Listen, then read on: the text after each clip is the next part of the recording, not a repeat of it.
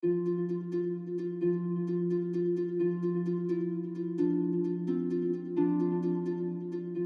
Ebenezer family, Pastor Leyton here with my weekly update, and I want to invite you to join us this weekend as we begin a new series of the book of 2 Peter we're calling Unshakable.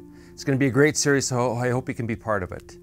As well, I'll be bringing you an update regarding our search for Ebenezer's next youth pastor this coming Sunday.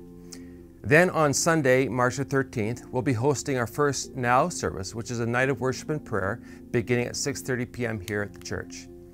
As you know, and as we mentioned last week, this coming Sunday, there will be no more masking restrictions, which means we'll finally be able to see each other's faces again.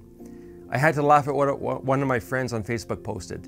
Uh, she's not excited about lifting of the mask restrictions because now she needs to put on makeup and do her hair. And her husband's not excited because now he has to smile at people. if that describes you, then by all means wear your mask on Sunday. Now, seriously though, if you are not comfortable in public spaces without a mask, please know that you are welcome to wear your mask anytime and anywhere here in the building. And for now, at least, the balcony will be set aside for masking and distancing. We want everyone to feel welcome and comfortable. Well, that's all I have for today. If you're out and about this weekend, drive safely. See you later.